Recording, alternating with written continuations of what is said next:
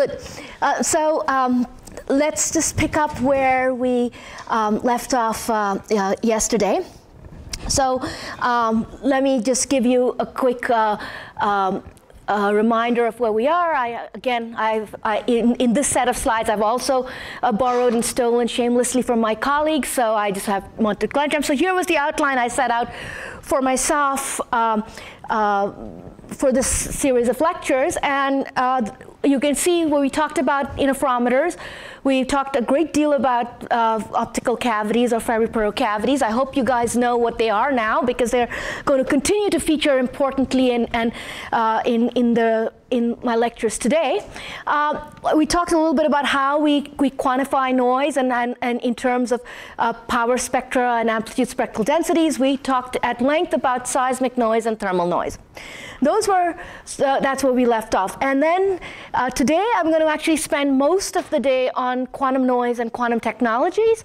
And then towards the end I'll say a little bit about third generation detectors. And I'm going to wrap up by taking us for, uh, to the future and back to the present and with what's going on in, in, in LIGO and Virgo right now. All right? So that's the, uh, that's the plan.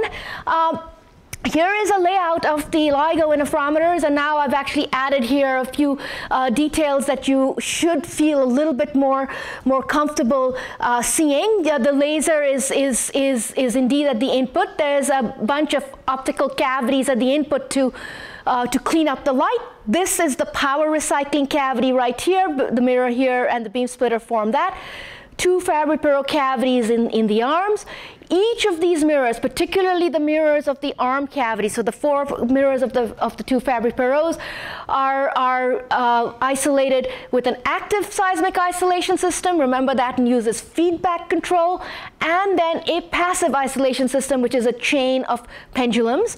Um, and then there, uh, at the output here is where we make the measurement. And I said briefly, I talked about the signal recycling mirror, which basically just uh, sends the signal photons back in for to gather more phase. Okay, so that's kind of, I think, the summary of everything we talked about uh, uh, yesterday. Now, you've seen this plot too in, uh, before. Uh, these are the expected noise sources for advanced LIGO, and I really want to zoom in today on the quantum noise, which is the magenta curve, and you can see there's good reason to do that. If you look at the black curve, which is the total noise, the sum of all these noises in, uh, for advanced LIGO, it is more or less completely dominated by the quantum noise, which is the magenta curve. A little bit right here around 80 hertz, the, the coating thermal noise uh, um, matters, but everywhere else. So it's a very important noise source and one we have to solve if we want to do better. And so today's lecture is going to be about what causes this noise source and how do we, how we, how do, we do better, okay? So uh, to be able to do this, I have to give you a little bit of a, uh, a tutorial on how we quantize light. So I'll, I'll do that uh, uh, to start with. So the first thing we do in quantizing light is we start with a classical field. And this classical field is you can just write it in terms of sines and cosines. And in, embedded in, in, the, in the R vector is all the, the spatial dependence of the light as well. So you, that's a, a completely generic way to write this uh, kind of light field, and this is sometimes called a quadrature field. And anytime you see the word quadrature, you should know it simply means expressing something in terms of sines and cosines, okay? Uh, and now, as a simple exercise, you can superpose on this time varying field another uh, field uh, with, with this amplitude E naught, when the total field will be the sum of these three fields, and the sum of these three fields, then you can see quickly you can rewrite as a term that's the mo a modulation of amplitude, and another term, oh, that should be an E2, sorry, uh, that's a, just a, a, LaTeX typo. Another term, that's a modulation of phase, okay? So you can think, the reason why I put this up is you can think interchangeably between quadrature fields and amplitude and phase. And this is nothing new. This is something you would, would do with any classical uh, light field or electromagnetic wave already. Okay, now comes the quantizing part. So the basis of quantizing an electromagnetic field, some of you have, have, have seen this before, so this is a re recap, and some of you may not have even thought about it. The basis of quantizing a, uh, an, an, electromagnetic field is really to do with the idea that you can express the, the, uh, the modes of, the, uh, of an electromagnetic field as if they were the modes of, an, uh, of a cavity. So think about the, your original thoughts on black body radiation. You have a cavity, it can support some number of modes in, a, in, in, in that box. And then what happens is the boundary conditions of that box or that cavity are very similar to any boundary value problem you would do, such as a harmonic oscillator problem. So what you will see again and again is in quantizing a light field, just think of the quantum harmonic oscillator. So even if you've never quantized a light field, you have quantized a harmonic oscillator, at least most of you must have. So you'll see that these operators, uh, uh, uh, we call them x1 and x2, and they're expressed in terms of these operators that are raising and lowering operators, sometimes known as ladder operators. And I want you to just recall that if you've ever quantized the, the, the uh, harmonic oscillator, these relationships should remind you very much of the P and Q operators that you use in quantizing a, a, a harmonic uh, oscillator, P and Q in this be, case being the canonical position and momentum. So if you think about a Hamiltonian that's often written as a so a, a Hamiltonian that could be written something as p squared over 2m plus omega naught squared uh, uh, q squared that's a that's the uh, har uh, harmonic oscillator, quantum harmonic oscillator Hamiltonian.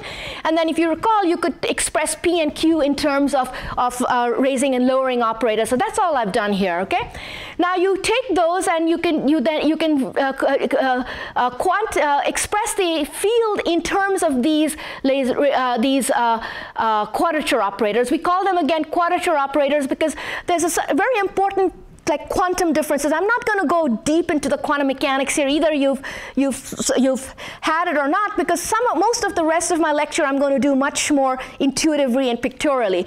But the important things to know are x1 and x2 act like amplitude and phase. X1 and X2 are Hermitian. The ladder operators are not, and therefore, when you want to have observables, you have to observe in units of X1 and X2. But and being an experimentalist, I only observe in terms of observables, and therefore I will work with X1 and X2, okay? Now, the raising and lowering operators, uh, if you recall, simply act on a number state. In the case of the harmonic oscillator, it was quantizing just the, the, the uh, energy levels of the, uh, of the harmonic oscillator. These were the, the, the number states. In the case of, of light, these are basically a photon number. N here refers to a state with some number of photons. These photon number states are sometimes called Fock states. Um, and uh, interestingly enough, they don't uh, uh, occur naturally in nature. People have only in the last decade or so succeeded in making Fock states in a lab, but they're, they're, they're very uh, mathematically very convenient, uh, but they're not uh, something that light naturally occurs in. Okay, so that's so that sets up our our um, uh, our math, I think, here. Do we have anything else? Now we move away from this. As soon as I introduce x1 and x2 as my quadrature operators, I give you the, the, the, their commutation relation.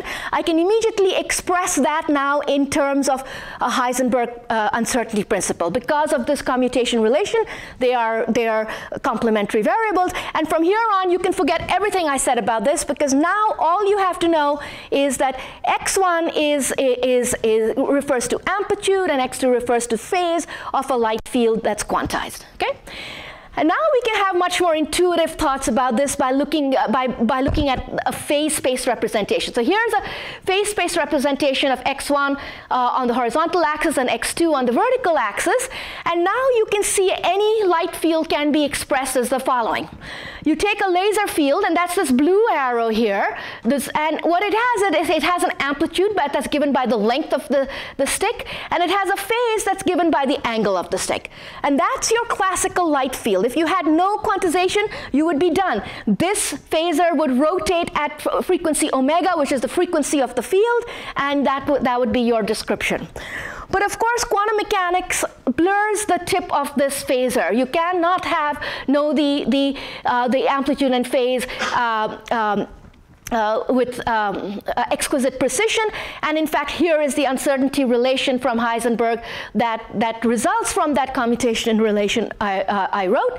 And that means basically you have a, a fuzzball at the tip of your arrow, okay? It simply says I cannot measure with, with, uh, with exquisite precision the tip of this fuzzball. Okay, and furthermore, the Heisenberg uncertainty principle also tell, gives a minimum area uh, uh, to the ball, and that minimum area is this re relation here. Okay, so if you if you are, uh, think in terms of a quantum uh, oscillator. This is exactly the same thing we do there. This is simply just, this would be the uncertainty relationship between the uh, canonical momentum and, and, and position, or even real momentum and position, okay? So that, that's the, the, the thing. And if you like none of the math, just know this. Quantum mechanics says you cannot measure the amplitude and phase of light simultaneously with infinite precision. Okay? If you like none of the rest of it, that's the message. But there's a little bit more to this. So now we're going to work entirely in this phase space representation of x1 and x2. And once you do that, here are some quantum states of light. So the one on the top left is a coherent state, and that, it turns out, that is a laser. A laser basically has a, a, a, an amplitude and a phase, and it has a minimum uncertainty if it is a shot noise or quantum noise limited laser, okay? So that's what a laser state is. Now comes the next and perhaps most important uh, um, state that we're going to work with, and that's a vacuum state. So, you know, given that this is almost the last lecture of the series, and you're all tired, I thought I would just kind of blow your minds away, you know. So here's the mind-blowing part. So what is the vacuum state? The vacuum state is the zero point energy fluctuations of the electromagnetic field. So you can think of it arising from everywhere, all around us, even in empty space particles and antiparticles are creating and annihilating. And in that process of creating and annihilating, they have, there's an, a, a, bath of minimum energy that's called a vacuum state. And it's a vacuum, it's a randomly fluctuating field. So in the, in the case, in, in thinking about the quantization of light, when you think about a harmonic oscillator, what the lowest state, the ground state of the quantum harmonic oscillator, remember the energy is given by n plus a half h bar omega, right? So if you recall, if you quantize the energies of a, of a, of a uh, quantum harmonic oscillator, you get something that looks like uh, n plus 1 half h bar omega, right? So, and where n goes from 0 to, to infinity, when n is equal to 0, you don't have zero energy right? And that's what the vacuum state is telling you as well. That's what it is. The quantization of the light, mathematically, because of this, will tell you you always have some non-zero energy. And the physics of it is the, the annihilation uh, uh, and creation of virtual particles. So, if you've never thought about this before, you will never forget this again. When you walk around this room, empty space, anywhere in space, everywhere around you there is a popcorn of vacuum, vacuum, fluctuations. Popping in and out of existence are particles, and if you close your eyes, you should imagine them. Okay? Now, why is this state going to be so important? You'll see in a, in a, in a, in a, in a minute that even though it's this, it's sort of, it's such an, um, uh, such a crazy idea, it shows up again and again in experiments. So, and I'll show you how. All right, then comes another very interesting state. So you can take a coherent state and Heisenberg uncertainty principle says that you must have a minimum uncertainty where delta x1, delta x2 is greater than some normalized, in some normalized units, 1. Okay, you might be used to h bar, we just normalize that out in quantum optics. Now you, uh, what Heisenberg says is that you must satisfy that relationship um, but you can always redistribute the, the noise. So if you start with something that's delta x1 times delta x2 is greater than or equal to 1, the minimum uncertainty will say delta x, the uncertainty in x1 and the uncertainty in x2 are equal, which is what that coherent state shows over there. But there's nothing that stops you from making what's called a squeeze state, where you can preserve this relationship but put some noise from uncertainty from x2 into x1. And that's what these states are. These are different kinds of, of, of squeeze states where we simply redistribute the uncertainty between the two quadratures. Okay? And these are going to play an important role as well in our, uh, in, in, in our work today. Now, not only can you squeeze a coherent state, as is shown here, that's the, you know, when you have a, a stick, you can also squeeze a vacuum state. Okay, there's not, nothing in, in, in, in, the, um, um, in the physics or the math that says you can't. Now, why am I telling you all this? I'm telling you all this because I want to try to explain to you where the quantum noise limit comes from. So let's first remind ourselves of what the quantum noise limit is. There it is. Now, if you recall, we already encountered shot noise. And shot noise is what limits the high frequency part of the spectrum, above about a, 100 hertz. And the way we make the shot noise lower is by using more laser power. Why? How does it scale? Everybody remember? Speak. Square root of power right? So it's a square root of the power. As I increase the power in the interferometer, my, my signal to noise ratio improves. And what I'm doing in, the, in quantum mechanical language is I'm using more laser power, I'm making a stronger measurement. I'm making a more precise measurement in Heisenberg's language, okay?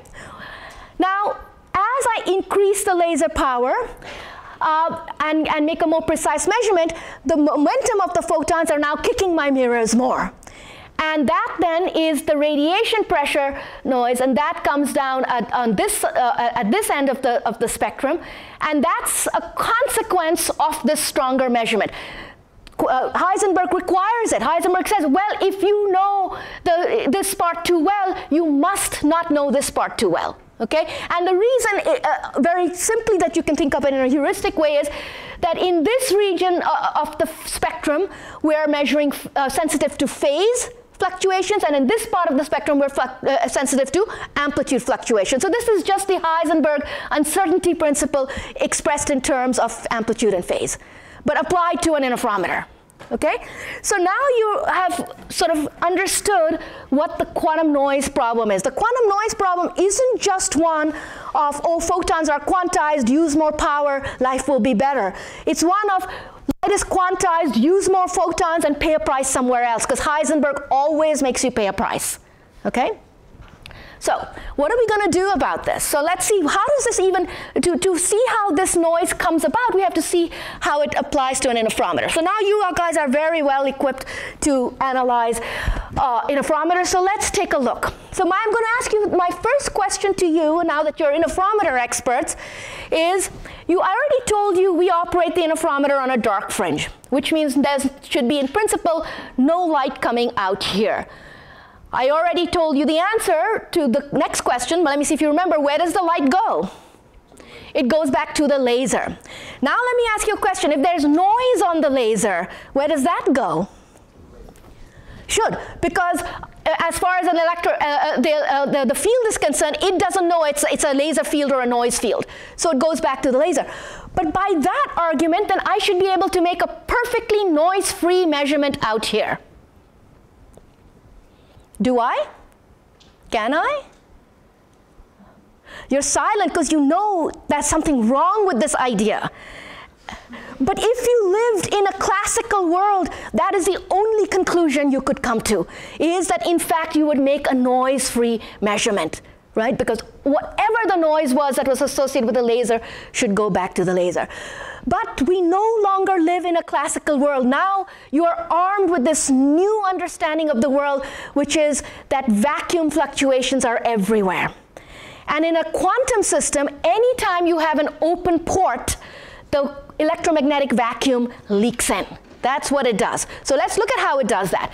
So you can see that in this beam split, in the classical beam splitter, you would just have a, a light going in this way, and, and it, it reflects, uh, uh, and it sort of splits up to uh, this mirror here and to this mirror here. In the classical description of the beam splitter, you don't just have the laser field coming in here, you have a vacuum field coming in here. Okay? All right, when that vacuum field comes in, I already told you about the symmetry of the beam splitter and the, and the change in sign. For the same reason that the, the light laser field goes back to the laser, by the symmetry of the beam splitter, this vacuum field will come back out at the, at the vacuum, at this output here. But what also comes out over here is this little red signal phasor. When the gravitational wave comes by and moves these mirrors differentially, a little bit of the light leaks out, and there it is. And now it superposes on the vacuum field. And that is the origin of the shot noise. Okay? So it really doesn't matter what the noise on the laser is. What matters is how much power you have because the superposition depends on the length of your little signal vector here. Okay? So this is a formula for, for shot noise. It has an h bar and a c, and, and there's the uh, square root of power and, and uh, in, in, the denominator, just as, as I showed you yesterday. And so what shot noise is, is it's the coherent signal field, the little red vector, superposed on the quantum uh, fluctuations that are coming in, the vacuum fluctuations that are coming into the open port, okay? Now, what about the radiation pressure? Well, it's actually the same thing. These same vacuum fields, this yellow, the yellow, yellow vectors, are going up to, to the, the, each mirror and superposing on with this very intense light field, the red vector here. And so for the same reason, the radiation pressure noise also comes from the coherent superposition of the intracavity field uh, with the vacuum state, okay? And it's, it's that fluctuating amplitude fluctuation that kicks the mirror and gives you the, the, the, noise, okay? And that's what you get for the displacement sensitivity uh, due to radiation pressure. Now, this thing has a, a 1 over m times f squared in there. What it, the hell is that? Um, some of you might have noticed, and some of you might not have because I haven't said explicitly. Um, yesterday I showed you what an, uh, uh, a classical harmonic oscillator, not a quantum oscillator, but a classical uh, harmonic oscillator. I showed you yesterday that it has a displacement per force spectrum that looks like this, right, as a function of frequency. So this is the 1 over f squared part, and that's simply just saying that when I apply a force, the radiation pressure is a force. But really I'm interested in displacement, and so the force per displacement has that 1 over f squared term in there. That's where it comes from. It has a mass in there as well. It just comes from the solution to the different, the, the harmonic oscillator equation, okay? So that's where it comes from. So that now tells you something important about uh, about how the, these fields would look in the spectrum of, of, the, uh, uh, of the output of the Michelson interferometer. So actually, let me do that in, a, in, a, in yeah, let me do that next. So let me just try to put this into, into a slightly different language. Uh, here are your E1 and E2. These are the two quadratures, amplitude and phase. And you, as you know, shot noise is just, it's the minimum uncertainty. It's in both, it's in both quadratures equally. The gravitational wave signal shows up in the phase quadrature. It shows up in the phase quadrature for the reasons that we talked about yesterday, where the, the we're at the place uh, in you know the output of the the here is a Fabry-Perot cavity, and the Fabry-Perot cavity has a, a, a, a its power goes like this and its phase has its maximum slope right here. So this is in the phase quadrature that we make the signal measurement. So it adds, the signal then adds, the little gravitational wave signal adds only to the phase quadrature. Now, without radiation pressure, this is your picture. But now if you had radiation pressure, something else rather dramatic happens. And this is something really, this is going to be a building block of many things we talk about, so this is a moment to, to, to wake up. What does the radiation pressure do? The radiation pressure, what it does is it takes amplitude fluctuations, whatever they are, and turns out in this case to be due to the shot noise. And those amplitude fluctuations uh, apply a force on the mirror. What does the mirror do? It moves. When the mirror moves, what happens to the phase of the light? It changes. So the radiation pressure takes an amplitude fluctuation and puts it into a phase fluctuation because of the motion of the mirror. And that correlates the amplitude and phase. Okay? So the movable mirror that was invented to be the free-falling particles, uh, you know, test mass of general relativity has all these other ramifications you know, that, that we have to now deal with. In most optics experiments, anywhere, nobody has to think about the motion of the mirror because your mirror is just bolted down and the radiation pressure is absolutely negligible compared to all the forces on it. Not so in gravitational wave detectors and in a few other experiments that I'll show you. But okay, so now you put this all together and you can look at a, at a, a spectrum just of the quantum noise. So on the horizontal axis, again, I have frequency, and on the vertical axis, I have strain. And this is for a, a simple Michelson interferometer. This doesn't have Fabry-Perot cavities in it, because so much of this discussion, we want to not complicate it more than that. Each of these three colored curves, the, the blue, uh, two colored curves, the blue curve and the red curve correspond to two different power levels. So here's the red curve. If you look at the red curve, it corresponds to a power level of 10 kilowatts. And you see that it has shot noise, which is flat. Remember, shot noise had a flat spectrum. And radiation pressure noise has the 1 over f squared spectrum. Okay? And the, and, and, and the sum of those two is the, is the, is the uh, solid red curve. Now, if I want to do better on shot noise, I'll be tempted to, to, to turn my power up. So instead of 10 kilowatts, I, I go to, to a, um, um, uh, a megawatt. And indeed, my shot noise level drops, but my radiation pressure noise comes up. And then the green curve is labeled the SQL, and that's another really interesting quantity. The SQL stands for the standard quantum limit. I'll tell you a few things about it and we'll come back to it later.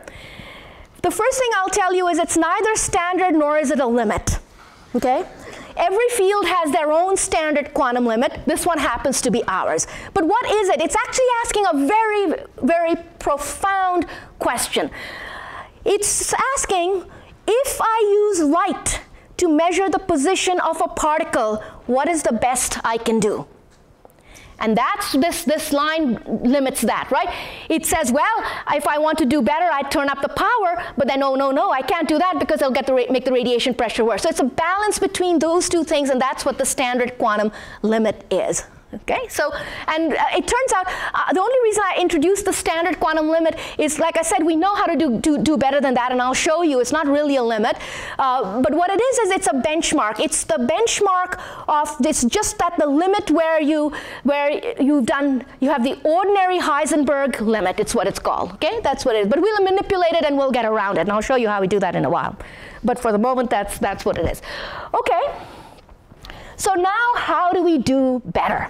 That's the question, right? So beyond this quantum noise, we have to do some quantum engineering.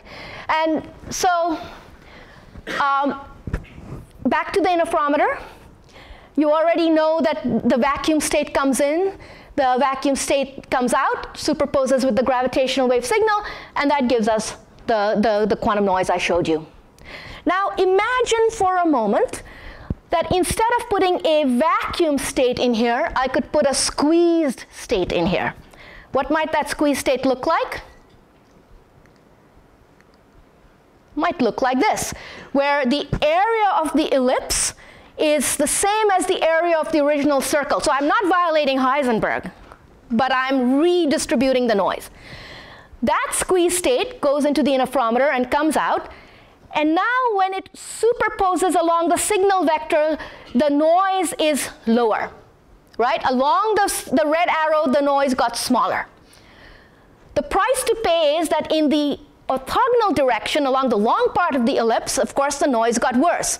So I better not make a measurement along that direction. But as long as I'm making a phase measurement along the, the red arrow and I make a squeeze state that's oriented in this direction, I should be able to do better. Any objections?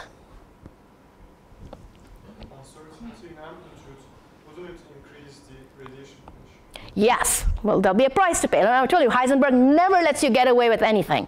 But even that we'll get around. I'll show you. Okay, but that's true. But if you were only wanting to improve the shot noise, this is what you would do. Okay, so indeed, we do that. We want to make a squeezed vacuum state. Are you holding onto the edges of your seats? Have you ever heard of something like that?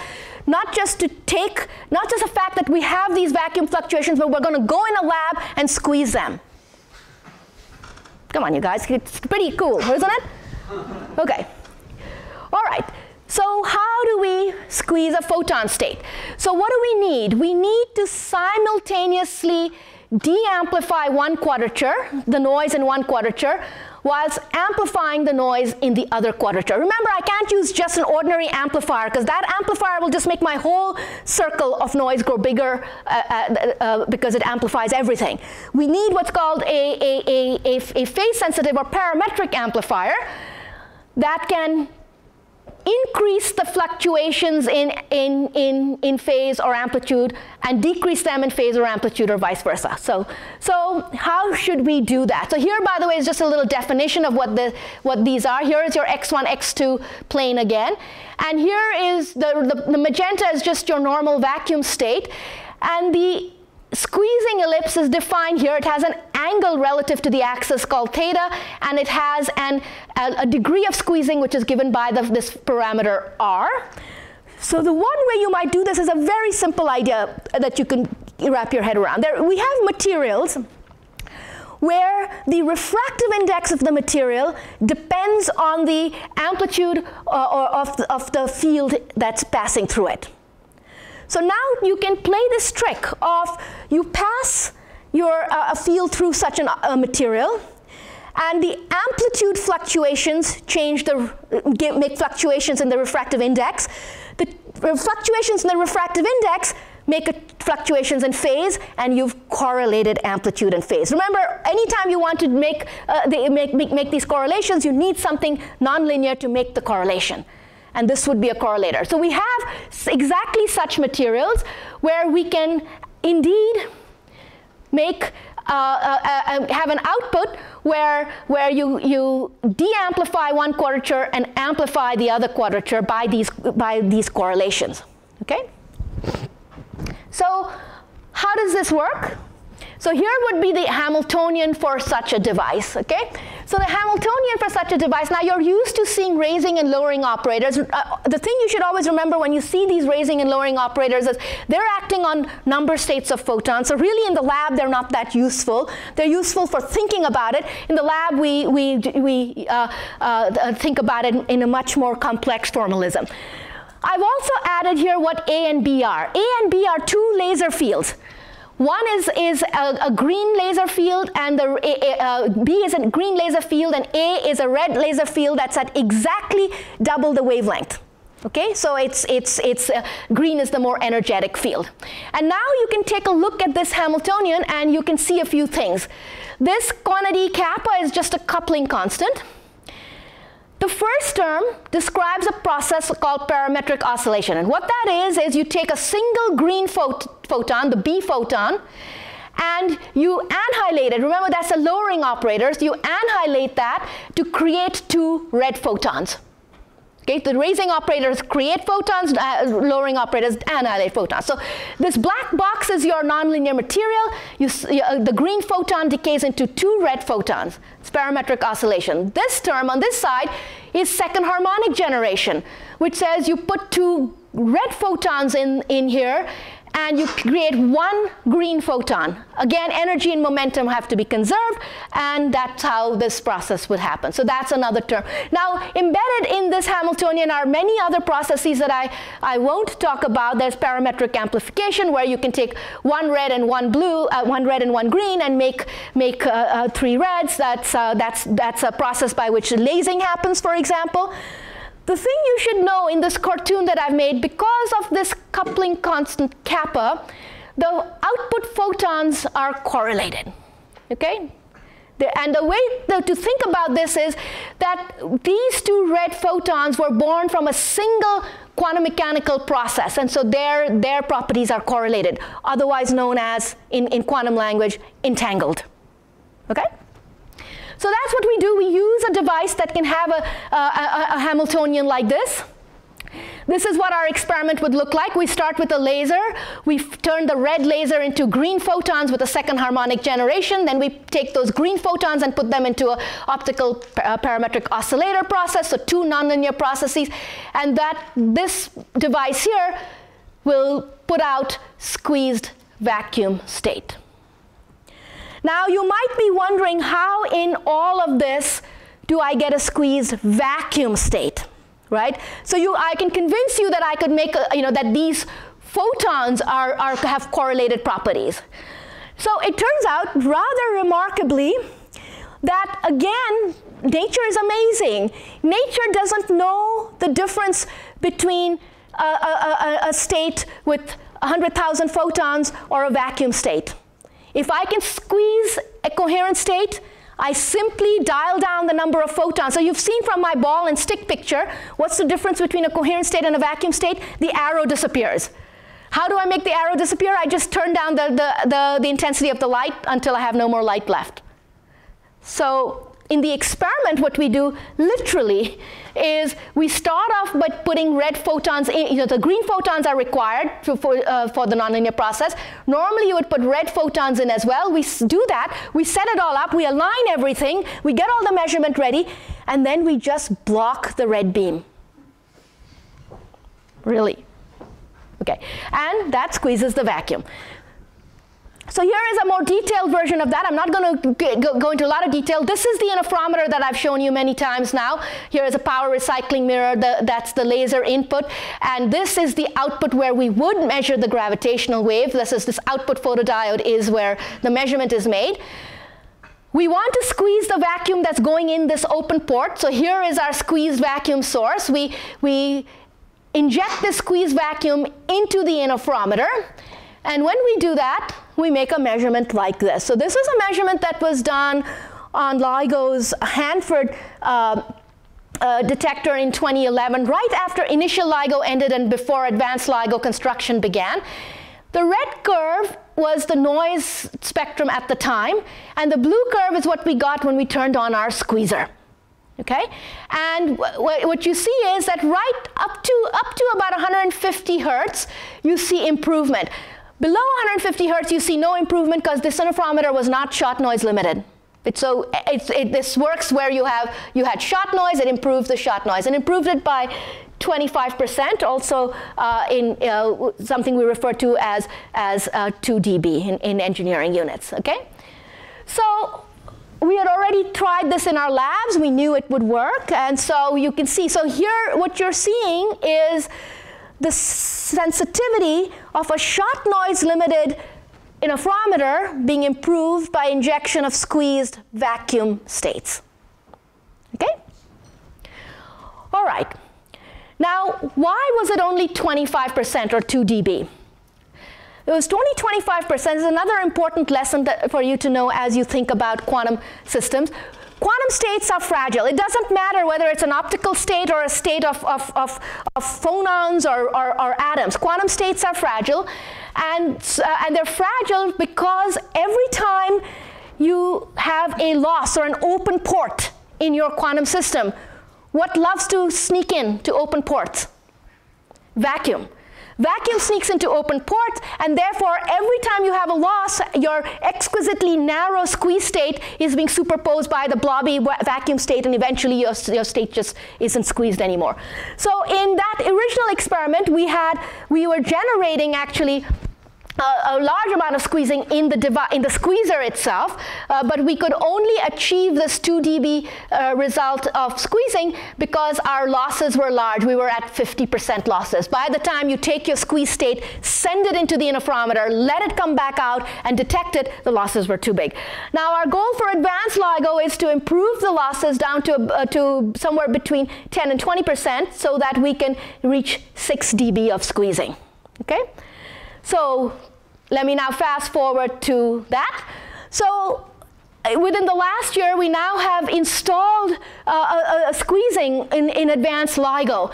And here is the sensitivity curve of advanced LIGO during observing run 3, which began just uh, in, in, April this year. And the main improvements between the blue uh, curve, the only change between the blue curve and, and, the, and the red curve uh, is that they're squeezing. And so the Impa impact of squeezing in this case is we have about a 3 dB improvement.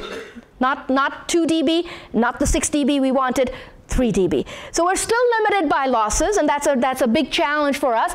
Um, but uh, the, this is the most significant improvement to be made uh, in advanced LIGO between observing run 2 and observing run 3. And the improvement is sufficient that in observing run 2, advanced LIGO was seeing roughly one event per month. In observing run 3, we're already seeing more than one per week. So this improvement is actually quite significant, even though it doesn't look very important, uh, uh, you know, on a graph with this many uh, uh orders of magnitude on it. Okay? Yeah. put my astrophysics hat back on. So reduce the noise by 10%. So you increase the distance, you can see your sources by several tens of percent. So the volume goes as several tens of one plus that several tens of percent cubed. So yep.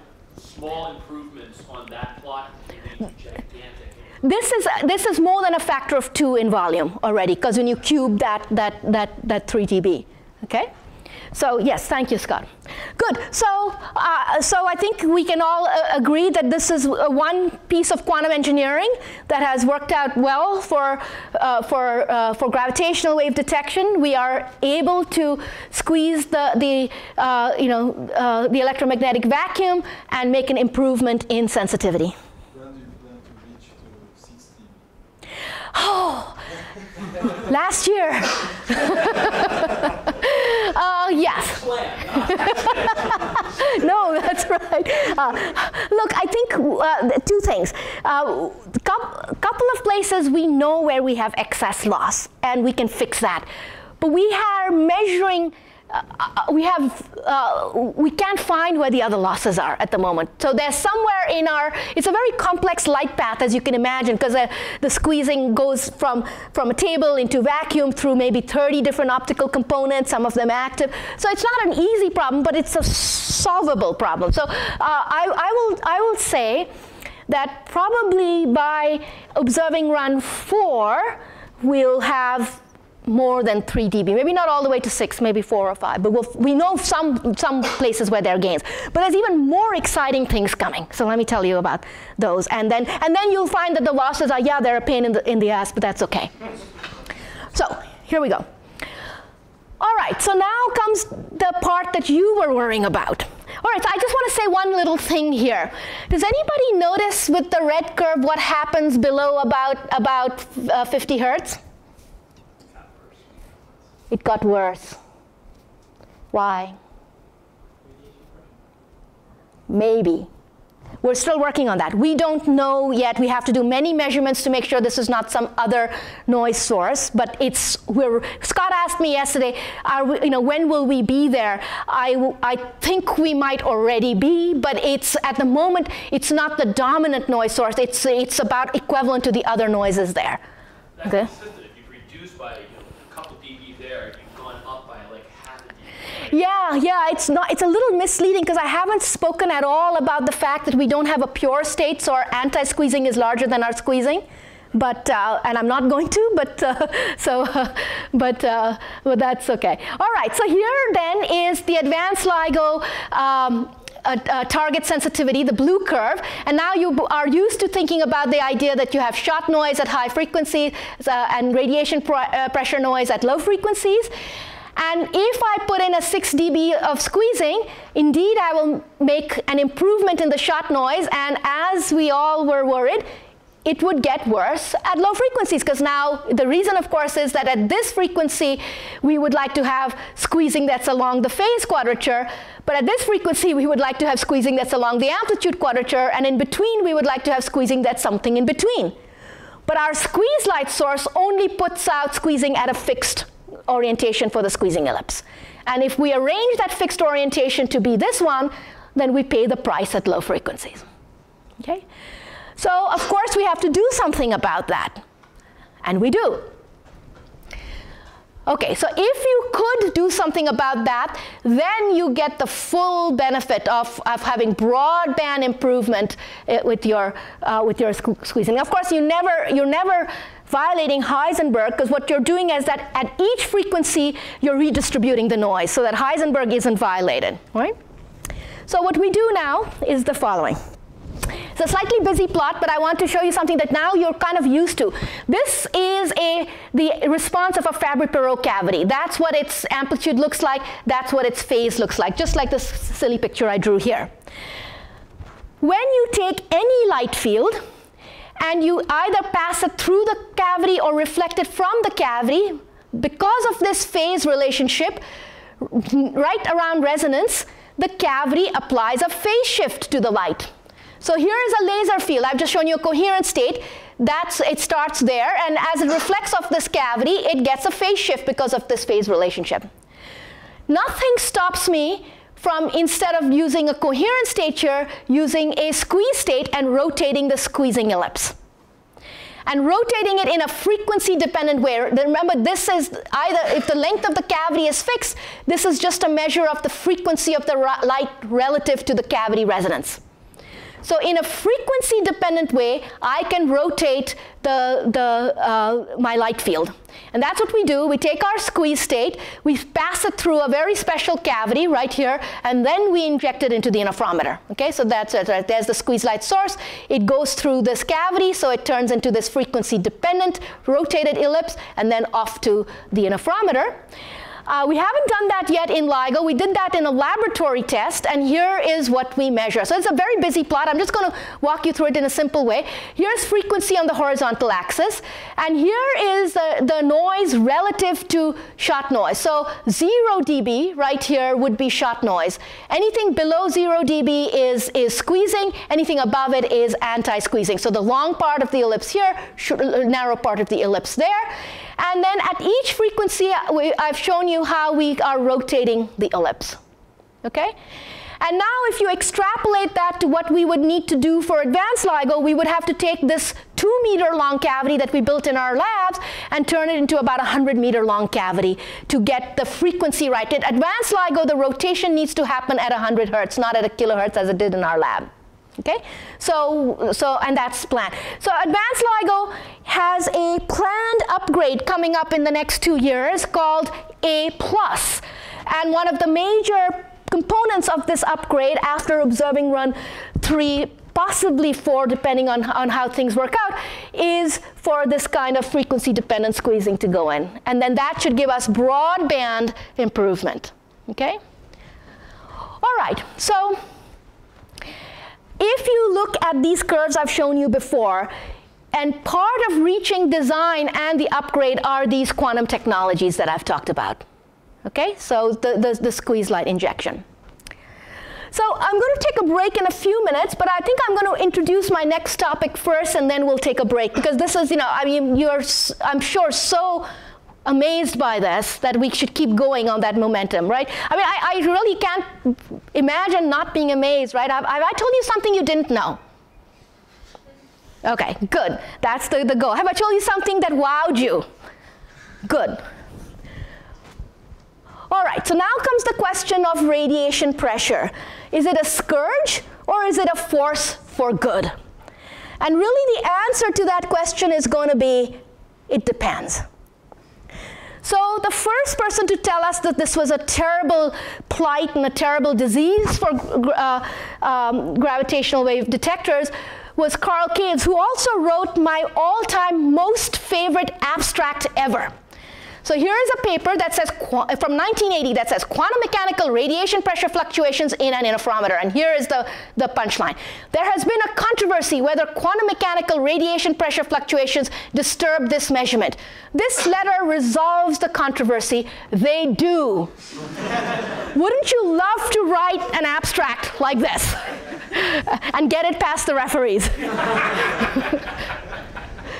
Okay, so Caves already told us that this should be a problem. And by the way, these ideas that I told you earlier on of the vacuum entering the open port and causing shot noise and radiation pressure noise, that all came from Carl Caves, who was at the time in Kip Thorne's group. So, so we owe a big debt to him in thinking about it that way, because before that, people thought about this as as a sort of a puzzle of why does the laser noise matter if it's all going back to the laser. And he was the one who first quantified that it's the vacuum that's causing the problems, okay?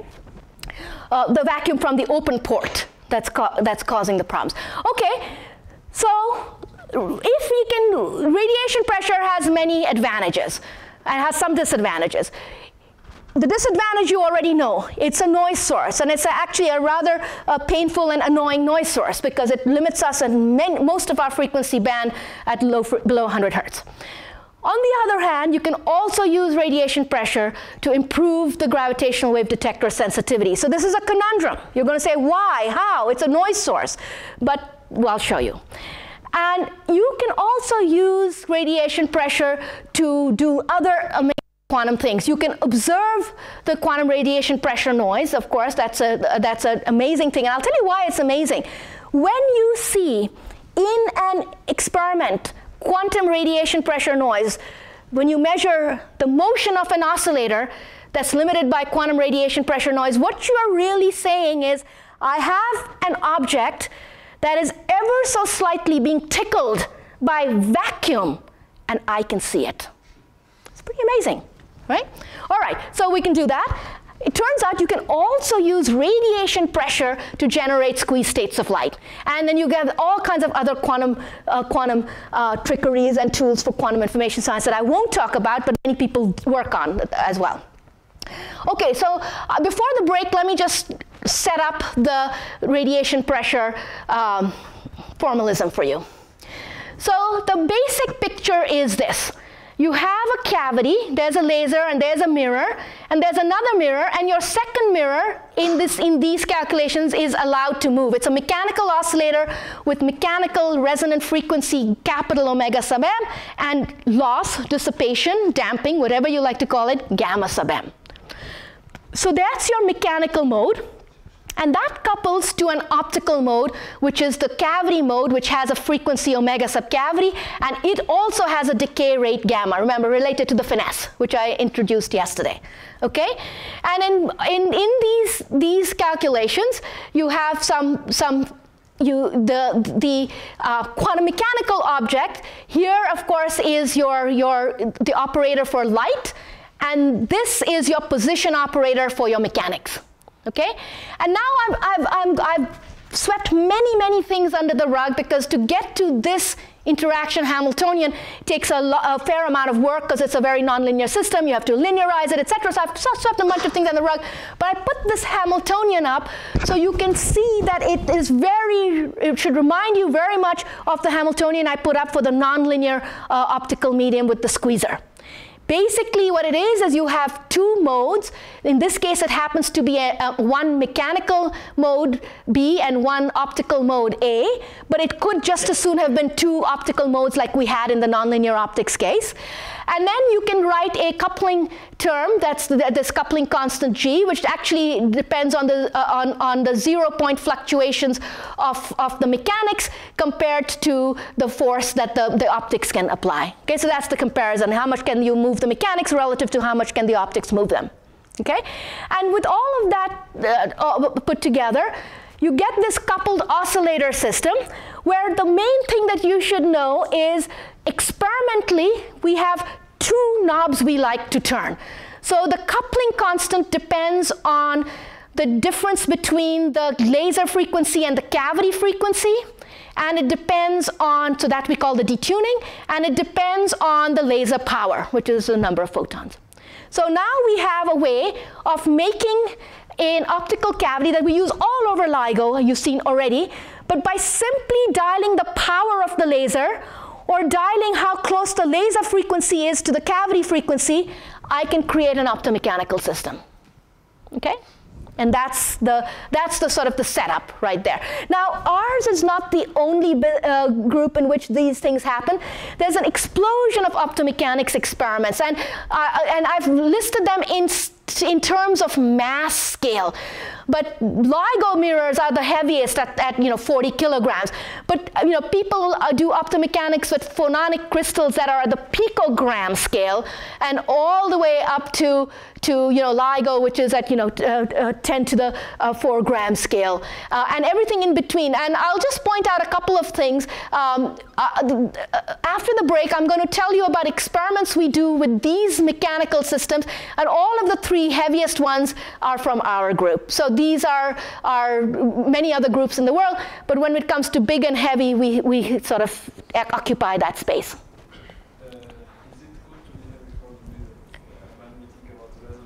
I'm sorry, what's the question? Yeah, so uh, is it good to be he he heavy? So let me just, uh, just, just tell you, that's a good question and I can set the stage uh, uh, for that. So you can think about the mass of the mirror uh, affects the resonant frequency. If you think of them in the simplest, stupidest way, it's k over m, right? So, so you can think of it that way. It's not just quite that simple. And the reason why we, so the heavier the mass, the lower the resonant frequency. And there's no accident that our, the gravitational wave community occupies this heavy end because we need low frequency oscillators. Why do we need low frequency oscillators? Because remember, this is the picture right here. Our free uh, um, falling mass of GR is only true below the above the resonant frequency. So typically for LIGO, these resonant frequencies for these oscillators are below one hertz. Okay? So there's no accident there that we need to work at the, at the, at the high frequency. On the other hand, the heavier the object, what are you interested in these experiments? In these experiments, you're interested in how much can light pressure move the mirror? So the heavier you make them, the more light you need, and the more light you have, the more headaches you have. So in some senses, it's much more advantageous to go very light and use very little laser power because then you don't have all the problems of high power absorption, heating, uh, even generating that kind of power. In fact, uh, even destroying mirrors. We regularly take these little uh, uh um, nanomechanical structures here, and if you put too much laser power, it just vaporizes. so you know, so so there are many advantages to being in the in, in the light regime, but we don't have that option because our gravitational waves occur at these at these frequencies. So let's take a break and come back in in, in say 10 minutes.